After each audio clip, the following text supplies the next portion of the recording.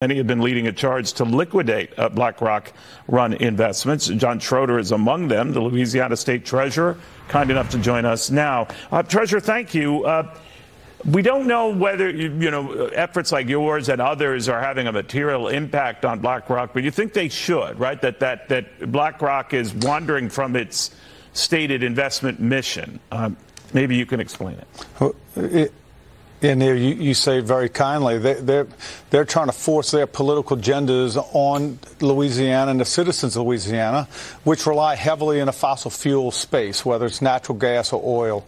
Uh, you know, this is just a, a, a small message, at least from Louisiana, that you know, we're not going to put up with it. Uh, we're already being crushed by the federal government uh, on their policies and what it's doing to the oil and gas industry in our, our, state. I don't need corporate America to stick their nose someplace where it shouldn't be.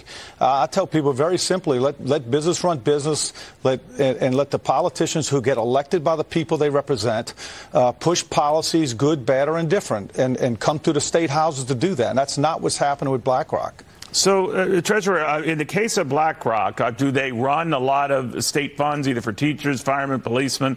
And are you now saying we don't want you to run them anymore, or you're going to bid this out to other financial players? Yeah, so what, what, happens, at least in Louisiana, each state's different, and I, I, I, lead the State Financial Officers Foundation with 23 plus treasurers, and we also ought to do something different with our investments. Uh, this this money that I've started moving early in, in a year and started making, talking about it late last year, uh, is really our money management, our day-to-day monies. But the real money BlackRock really wants to get to is the state retirement monies. In Louisiana, it's about 70 plus billion dollars.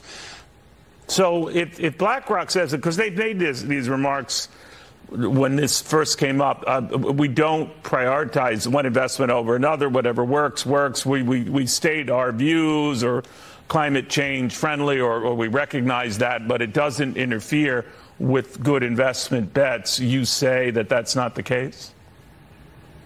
No, I, I, can show you data where, where their investments aren't doing well. And when, they, when their numbers come out next week, I think you'll be able to see it. And once we're able to a- analyze it, um, you know, you'll be able to see that their investments aren't necessarily the, the, the most, uh, uh, the, the, number one choice for, for a lot of investments. But, you know, it's what really rankles me is that know, BlackRock can go do all these things, and these very large liberal corporate companies can go do, any, do anything, say what they want. But when a small state like Louisiana pushes back, it's like news.